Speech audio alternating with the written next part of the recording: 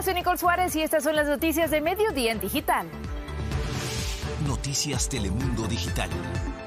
Guerra contra la variante Delta. Los CDC alertan que esta nueva cepa es tan contagiosa como la varicela y una verdadera amenaza de salud para todos, incluyendo a los vacunados. El presidente Joe Biden exhorta al Congreso a extender la moratoria de desalojo que expira mañana. Esta medida prohíbe que los propietarios desalojen a los inquilinos que no pagan la renta en medio de la pandemia. Estaba pensando en cruzarme al otro lado. Allá no se odia. Te llevo conmigo es el nombre de la cinta que ganó como mejor película en el Festival de Sundance. Es una historia de amor entre dos migrantes mexicanos en Nueva York. Hoy entrevistamos a Cristian Vázquez, uno de sus protagonistas. Empezamos con el reporte en donde los CDC advierte que la guerra contra el COVID ha cambiado ya que la variante Delta, altamente contagiosa, se propaga tan fácil como la varicela. Carla Mesola tiene más sobre el documento obtenido por el Washington Post. Adelante, Carla, te escuchamos. ¿Qué información nos tienes? ¿Qué tal, Nicole? Muy buenas tardes. En efecto, se espera que hoy los CDCs publiquen nuevos hallazgos para mostrar cuán contagiosa es la variante Delta, incluso entre las personas que están completamente inmunizadas, según un informe obtenido por el diario The New York Times. La facilidad con que se propaga la están comparando con la varicela. Dicen que la variante Delta existe un riesgo de contagio pese a estar vacunado, pero el peligro se reduce tres veces en los vacunados y el riesgo de una enfermedad grave o de morir disminuye diez veces en quienes ya están inmunizados. Para darnos una idea más clara, mientras que el virus de Wuhan, con el que hemos estado lidiando durante el 2020, puede contagiar a unas dos personas, Delta se puede pasar de 5 a 8 personas, de acuerdo a datos del Imperial College de Australia. Sabemos que ya han redoblado los esfuerzos en cuanto a la vacunación. Ayer el presidente Biden pidió a los gobiernos dar incentivo de dinero y hoy la ciudad de Nueva York comenzó a pagar 100 dólares a quien se vacune contra el COVID-19, ya que aquí las dosis administradas han disminuido en las últimas semanas lo que el alcalde ya tenía contemplado esta medida para incentivar a la gente. La otra iniciativa que están tomando también es el segundo distrito escolar más grande del país, el de Los Ángeles, esto para proteger a los estudiantes. Ahora serán evaluados semanalmente en el campus con pruebas a pesar de su estado de vacunación. Este sería el primer distrito escolar del país en dar ese paso. Ayer se anunció que los empleados federales tendrán que vacunarse o someterse a pruebas semanales y esto es solo parte de la lucha que están teniendo contra la variante Delta y que cada estado comienza a adoptar. Nicole, regreso contigo. Carla, muchísimas gracias. Sabemos que esta variante Delta también se transmite más fácilmente que el ébola, MERS y también el SARS, así que es muy, muy importante vacunarse. Y de hecho, Palooza, el Festival de Música de Chicago, vuelve pese al repunte de la pandemia. Una multitud abarrotó el Grand Park de la Ciudad de los Vientos para el inicio del Festival de Música que el año pasado fue suspendido por el COVID-19. Los organizadores exigen que los asistentes estén vacunados o presenten una prueba negativa de COVID. Se esperan 100 mil espectadores durante los cuatro días que dura este evento. Mientras tanto, en Broadway se han disparado las alarmas ante la rápida propagación de la variante Delta. El gremio de actores anunció medidas de precaución adicionales de cara a la reapertura de los teatros neoyorquinos anunciada para septiembre. Todo el equipo de una obra deberá estar totalmente vacunado contra el COVID. También se advirtió que los espectadores que acudan a cualquiera de los 41 teatros deberán demostrar que han sido inmunizados y llevar mascarillas. Y si usted quiere información sobre dónde vacunarse, recuerde que tiene una herramienta muy útil, planificatuvacuna.com. Ahí va a encontrar una lista de los centros más cercanos. Y en Vilo están millones de personas que podrían terminar en la calle ya que está a punto de expirar la moratoria federal que los protegía de los desalojos. En las últimas horas, el presidente Joe Biden llamó al Congreso a actuar y extender este alivio. Lourdes Hurtado nos tiene lo último. Buenas tardes, Lourdes. ¿Qué nos puedes contar al respecto? Adelante. ¿Qué tal, Nicole? Así es, la administración Biden ha anunciado que permitirá que expire mañana 31 de julio la moratoria nacional contra los desalojos, luego de que la Suprema Corte de Justicia señalara que no puede extenderse más allá de finales de este mes. La Casa Blanca ha dicho que hubieran querido prolongarla por el pico de contagios que experimentamos y han pedido al Congreso que la extienda. Sin embargo, no está claro si una solución legislativa llegaría a tiempo. Por ello, a partir de este sábado se espera una avalancha de desalojos en múltiples regiones. De acuerdo con la Oficina del Censo, unas 3.6 millones de personas en el país dijeron a principios de julio que enfrentan desalojos en los próximos dos meses. En la gran mayoría de los casos son personas que perdieron su trabajo o le recortaron las horas por la pandemia y ahora enfrentan grandes dificultades para poder ponerse al corriente con los pagos de la renta. Sin embargo, algunos estados han optado por extender la moratoria por su cuenta. En California, donde hasta 1.6 millones de inquilinos están retrasados con sus rentas, la mayoría de los caseros no pueden comenzar los desalojos hasta octubre. En Washington, D.C. es hasta el 26 de agosto, Nueva York hasta septiembre y Nueva Jersey hasta enero del próximo año, por lo que es importante revisar qué protecciones hay en su localidad. Las solicitudes para pedir la asistencia son largas y son complicadas, pero la ayuda está disponible. Así que antes de tomar cualquier decisión, conozca sus derechos y pida asesoría. Nicole.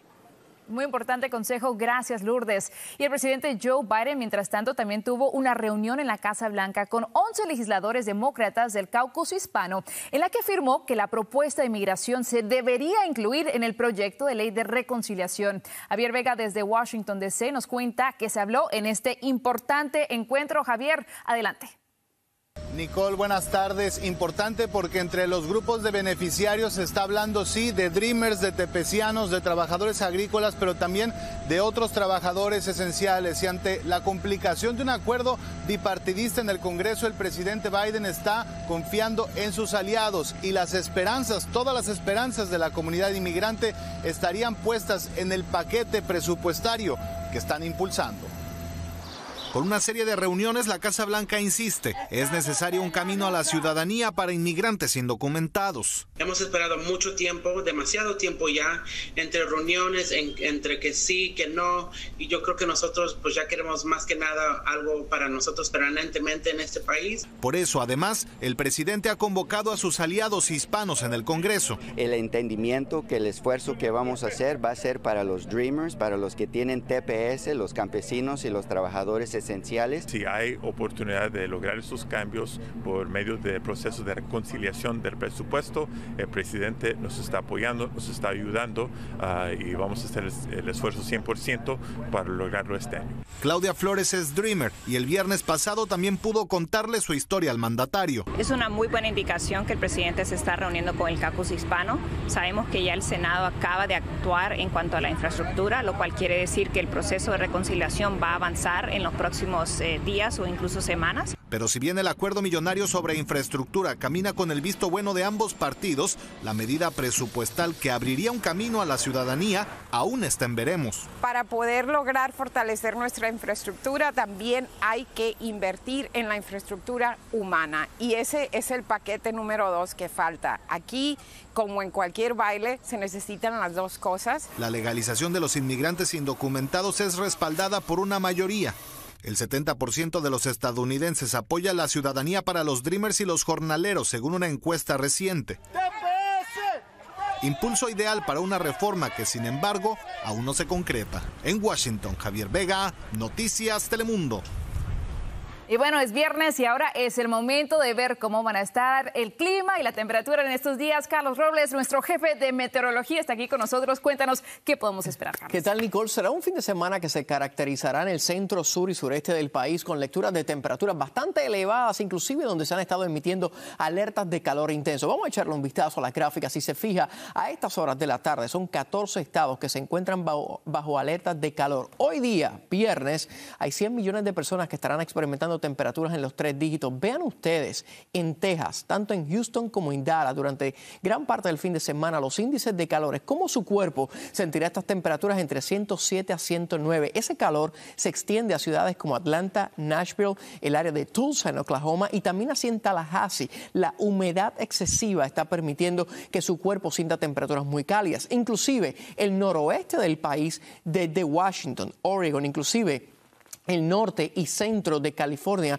con lecturas de temperaturas de igual forma sumamente elevadas. Esas localidades de igual forma se encuentran bajo alerta de calor intenso. Pero no todos vivimos en esas localidades, así que aquellos que eh, viven en Phoenix, en Las Vegas, estarán viendo lluvia que puede estar generando hoy y el día sábado algo de inundaciones. El día domingo así luce el panorama. Si se fija ya por lo menos la costa nordeste del país estará viendo un alivio, no al calor, sino a las tormentas que han estado afectando esas localidades ciudades, inclusive durante la tarde de ayer hubo un brote de tornados. Por lo menos el fin de semana, Filadelfia, Nueva York y Boston, eh, todo transcurrirá en calma. Así que buenas noticias para los televidentes que nos ven desde allí, Carlos. Pero ¿qué está pasando en los trópicos? Bueno, los trópicos están tranquilos por fortuna. No obstante, hay que resaltar el hecho de que ya durante este fin de semana comienza el mes de agosto. Y vamos a echarle un vistazo a las gráficas. Vean ustedes lo que ocurre y dónde nos encontramos en términos de temporada de huracanes. 30 de julio comenzamos a entrar ya a lo que es el pico de la temporada, es decir, es el momento más álgido cuando la cuenca del Océano Atlántico produce la mayor cantidad de tormentas tropicales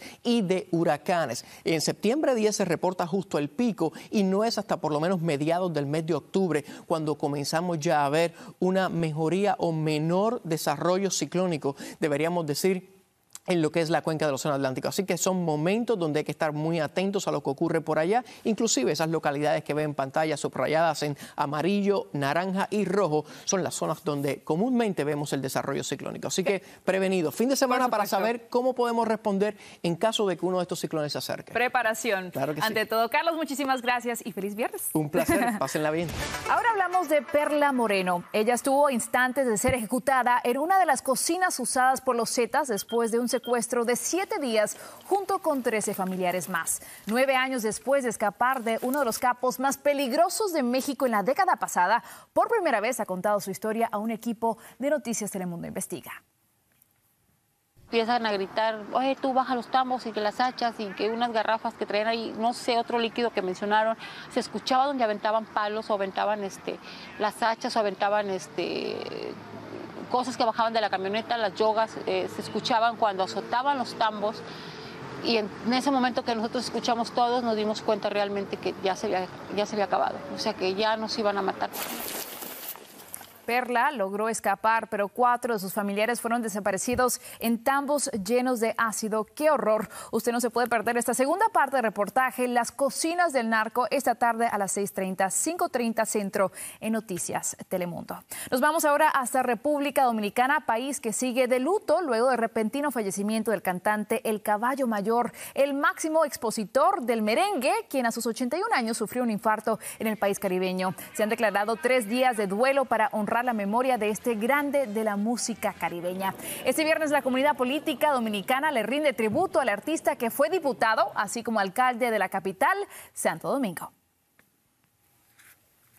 I Carry You With Me o Te Llevo Conmigo es el nombre de una película que está dando muchísimo de qué hablar después de ganar el premio a Mejor Película en el reconocido Festival de Sundance. La historia de amor de dos migrantes mexicanos está basada en hechos reales y la pareja que inspiró la historia participa también junto con los actores en la cinta dirigida por la directora nominada al Oscar Heidi Ewing. Vamos a ver un poco. Suenas diferente. Casi puedo escucharte sonreír. Ya, dime cómo se llama la afortunada. Mamá, Entonces, ¿es serio? Ya, dime cómo es ella. es. Es muy pronto para saber. Le damos la bienvenida en este momento a Cristian Vázquez, uno de los protagonistas que se conecta desde México. Cristian, muchísimas felicidades. Muchas gracias por el tiempo y por el espacio. Sí, ahorita que estaba escuchando la escena de la película, la verdad es que me, me trae muchos recuerdos y la verdad es que muy contento porque, claro, como lo mencionaron acá, es una película que ha dado mucho de qué hablar a pesar de que se vio muy poco por, por lo que todos pasamos el año pasado, ¿no? Pero sí es una película que tuvo un gran inicio en el Festival de Sundance, ganamos el premio, entonces la verdad es que muy contento por eso. Y bueno, pues a platicar de la película, ¿no? Claro, es una historia tan, tan poderosa, Cristian. Eh, los personajes de esta historia son dos inmigrantes mexicanos que viven actualmente en Nueva York, con los que también te tocó actuar. ¿Cómo fue esta experiencia también de mezclar documental con película? Explícanos. Pues para mí fue un honor siempre y cuando todo, todo el tiempo lo platicábamos con Heidi, con, con la directora y con Armando Spiche, que es mi, mi, mi compañero actor. Es para mí siempre fue un honor y, y fue muy digno el representar y el, y el darle voz a esta historia, ¿no? Como tal vez muchas de muchas personas que están viviendo en Estados Unidos bajo estas mismas circunstancias, ¿no? La, la, la, la situación de, de un migrante. Entonces siempre para mí fue muy, muy interesante y fue un gusto y un placer formar parte de este proyecto, ¿no? Por todo lo que significa.